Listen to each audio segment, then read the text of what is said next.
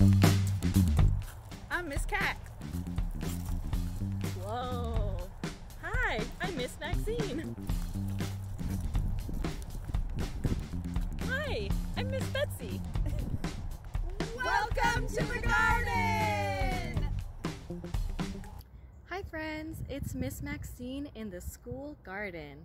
I'm here today to talk to you about plant needs and do an experiment with you. So, let's talk about plants. What do they need to grow? All plants need air, soil, water, and sun. They also need space to grow in the ground. So what happens if you take one of those elements away?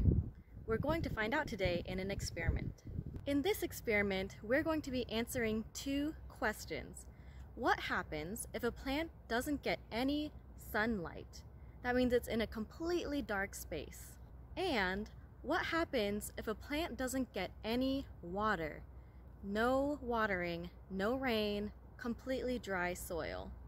To set up this experiment, I'm going to need fava beans, water, soil, pots, and time.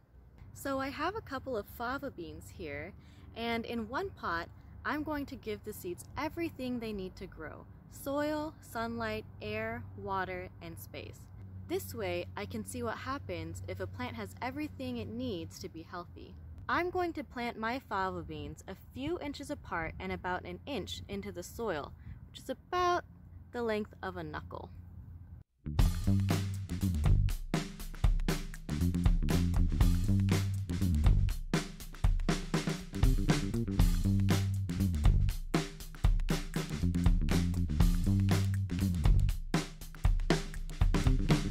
My third pot, I'll have my fava bean seeds that don't get any sunlight at all. I need to make sure that they stay in a completely dark place. How am I gonna do that? Hmm. I'm gonna put it inside this big box.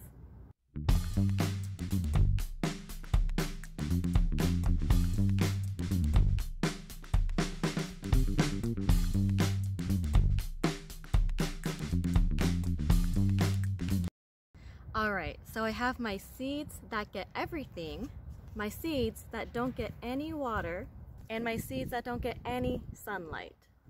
I'm to keep an eye on them for the next couple of weeks and see how they grow. I actually started this experiment a couple of weeks ago with some other fava bean seeds and let me tell you, they look so different.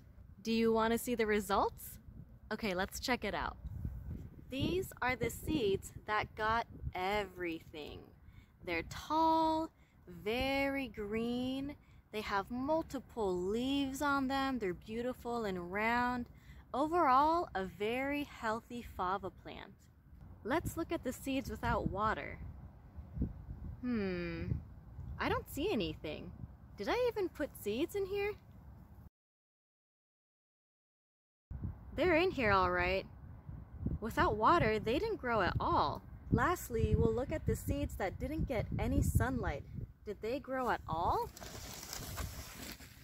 Whoa! They definitely grew, but look at that color.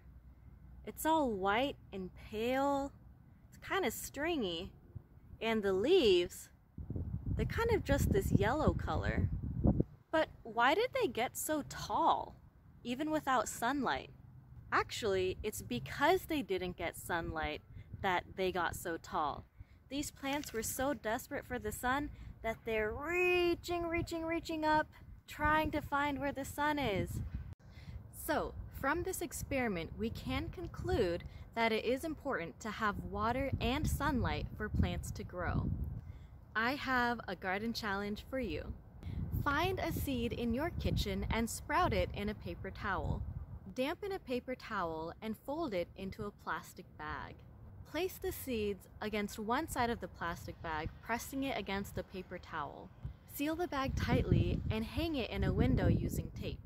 Watch the seeds grow and take pictures of your results. I'm so glad I got to share this experiment with you.